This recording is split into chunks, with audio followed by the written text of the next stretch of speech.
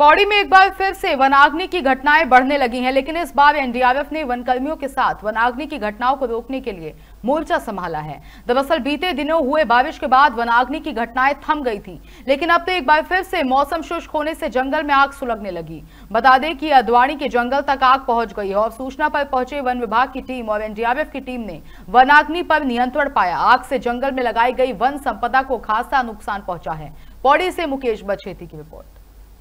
कल रात में जो सैटेलाइट डेटा से हमको सूचना मिली थी अदवानी नॉर्थ और अदवानी साउथ में दो जगह लार्ज फॉरेस्ट फायर की हमारे पास सूचना आई थी।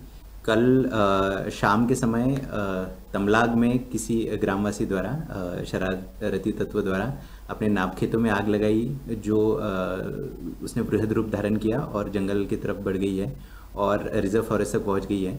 उसके बाद तुरंत वन विभाग की टीम मौके पर पहुँची, लेकिन आग बेकाबू होने के कारण हम लोगों को एनडीआरएफ को रोपिन करना पड़ा। और उसके बाद जो है एनडीआरएफ को भी हम लोगों ने डायरेक्शंस दिए हैं और एनडीआरएफ से भी मदद ले रहे हैं। अभी वर्तमान में वन विभाग की टीम एनडीआरएफ की टीम और हरिद्वार से जो वन विभाग की एक स्पेशल टीम हमारे पास आई है, उसको भी हम लोगों ने लगा दिया है और आग कंट्रोल करने का काम हम लोग कर